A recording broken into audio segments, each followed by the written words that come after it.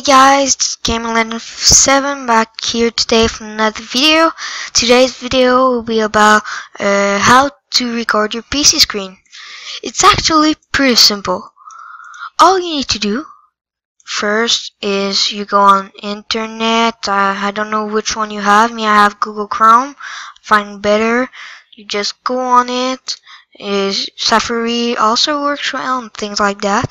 You go and you search screen cast o-matic. Uh, you I'll put the link in the description so you don't have to go all through that searching, but it's the first one. Then you go, it's gonna bring you to that website. Don't have to log in or sign up.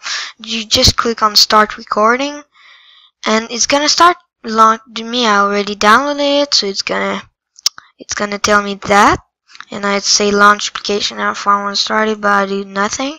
It's gonna download something you don't click on download launcher okay? Just don't click on that. Click on download the full app install. Hey here and it's gonna pop up something there uh, and you just when it's finished downloading all you do you click run. Me I already have it so I don't really care.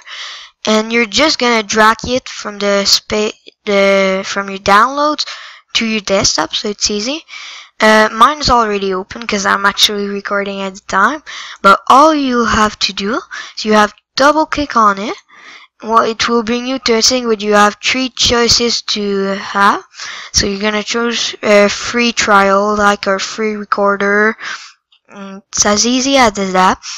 Then it's gonna pop up something there. You're gonna have settings done uh, record and that's it. So it's as uh, as simple as that. When your video will be finished you can upload it to YouTube you can download it on your computer and this. So thanks you guys thank you guys for listening and don't forget subscribe and leave a like